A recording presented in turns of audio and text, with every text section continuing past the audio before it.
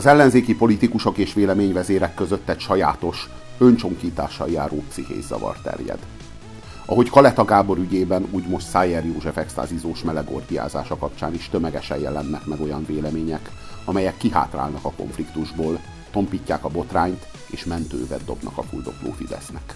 Kaleta Gáborról a balliberális sajtótermékek zöme nem győzte hangsúlyozni, hogy az őt sújtó gyalázatos ítélet tökéletesen megfelel a magyar joggyakorlatnak, mintha ugyan létezne bármiféle joggyakorlat 19 ezer gyerekportófotóval és videóval lebukó magasrangú állami tisztviselőkre. Ellenzéki újságírók nem győzték mentegetni az ügyészséget, hogy azok szakmailag mennyire helyesen jártak el, tudomás sem véve arról, hogy száz enyhébb esetben próbálkozott az ügyészség letöltendő börtönbüntetéssel. Most Szájer József kapcsán kell azt hallgatnom, ahogy Rónai Egon próbálja megszégyeníteni a Momentum mozgalom szerény képességű elnökét, mert az lemerte vonni azt a nyilvánvaló következtetést, hogy aki melegorgiák rendszeres résztvevője, az na mi? Meleg. Én azt gondolom, hogy ennek nem volt joga a saját vélekedését kijelentő módon valakinek a szexuális beállítódásáról megjelölni egy élőadásban, de ezt nem nekem kell megítélni valószínűleg végső soron. Lassan ott tart a magyar közbeszéd, hogy az a homofób, aki röhögni merészel azon, ahogy a homoszexuálisokat alázó, vegzáló, provokáló Orbán rendszer legfőbb brüsszeli zászlósura, aki személyesen írta az alaptörvényt és bontotta le a jogállamot, lebukik egy halom extázival, amint egy meleg szexpartiról az Eresz csatornán menekül. Tamás Gáspár Miklós szerint a Szájer ügy magánügy, amihez a magyaroknak nincs semmi közük. Én a Szájer József ügyhöz nem kívánok hozzászólni egyáltalán. Más emberek magánügyeiről nem kell nyilvánosságban Hol van annak a határa? Ezt Tóth Bertalannal is próbáltam tisztázni, és hol van a magánügynek és a közügynek Itt. a határa, Itt. mondjuk egy európai parlamenti képviselő esetében? Itt. Itt egyetlen szót sem kell beszélni róla. És nem is fogok amint Orbán Viktor belehazudta a magyarok pofájába, hogy ő csak most tudta meg, hogy a Brüsszel elleni szabadságharcának főkapitánya miként is él, úgyhogy levonta a következtetést, hogy ezzel az életmóddal Szájer nem passzol az ő politikai közösségükbe. A teljes balliberális értelmiségben vigyázba állt a szar. A miniszterelnök úr milyen keményen helyre tette ezt az ügyet. Mutassuk meg a világnak, milyen is az igazi, mély és magasabb rendű élet, amelyet a keresztény szabadság eszméjére építhetünk. Kábítószer illegális birtoklása miatt emelne vádat a brüsszeli ügyészség Szájer József kormánypárti EP képviselő ellen. Senkinek még csak eszébe sem jutott firtatni, hogy ugyan mi nem fér bele a kaleták és borkai féljelezte fideszes erkölcsi normák közé. Maga a homoszexualitás? A melegorgiázás? Az extázizás? Vagy a mentelmi jogbirtokában folytatott extázi dílerkedés?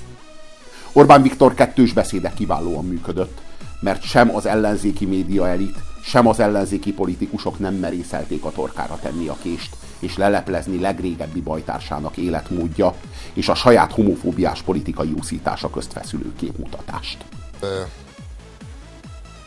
Szoktam volt mondani, az elfajzás bármely mód formája az, egy, az biztos, hogy egy lefelé tartó spirál. Hagy mondjak el egy történetet nektek név nélkül. Egykor volt barátunk, harcostársunk,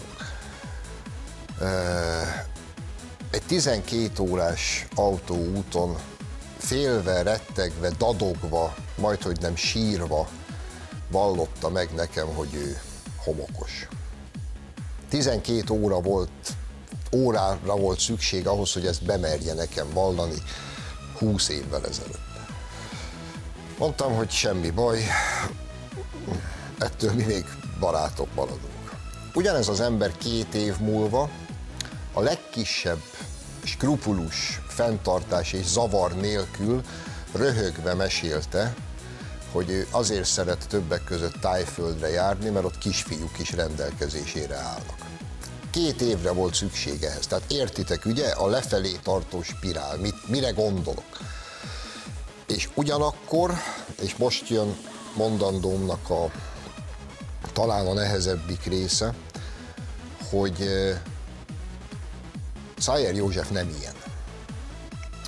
Beszéljünk egy picit arról a kérdésről, hogy egyáltalán hogyan kerülhetett abba a helyzetbe Szájer József, hogy um, szexuális orientációja egy ilyen kitettség legyen egyáltalán. Az ellenzéki média és politika beéri azzal, hogy híreket kommentál, képtelen narratívát írni és azzal nyomás alatt tartani a Fideszt.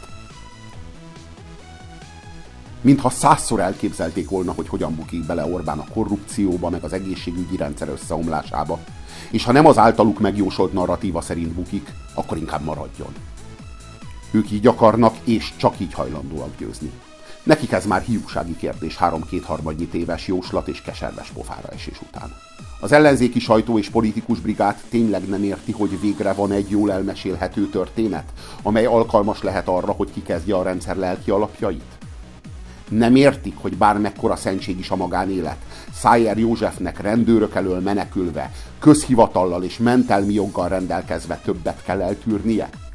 Tényleg nem érzik, hogy itt két jog ütközik?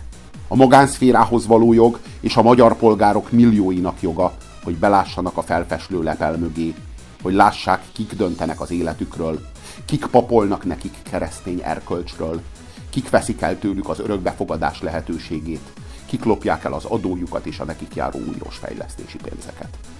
Az ellenzéki politikusok és véleményvezérek tényleg nem értik, hogy épp Szájer József és Orbán Viktor bűnszövetkezete szól bele magyarok millióinak magánéletébe egy magasabb rendű normalitásra hivatkozva.